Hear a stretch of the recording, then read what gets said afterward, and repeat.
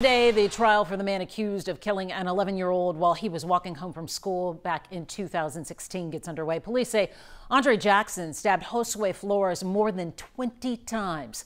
Marcelino Benito has a preview ahead of next week's jury selection. Well, Mia, a lot has changed here on the north side since Josue was killed nearly six years ago. But one thing has remained constant, and that is this community's commitment and push to get Josue's family justice. And Monday, they'll be one step closer. This community has been waiting a long time. It's been a long six years on the north side, the corner of Fulton and James still linked to the vicious crime that claimed the life of Josue Flores in May of 2016. Stella Morales found its safe walk home after Josue was killed. She says the case is still fresh in the community's heart. I always see his face. We cannot forget. His name and photos still line the place where he died. Houston police say moments after these cameras captured him walking home from school, Andre Jackson repeatedly stabbed the innocent boy.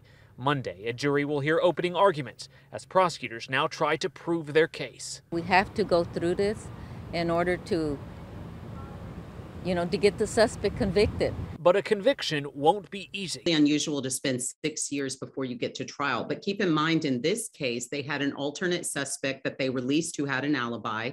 They charged Jackson in this case, released him because they didn't have sufficient evidence, and then recharged him. And so we're going to trial on a case that has a long and troubled history.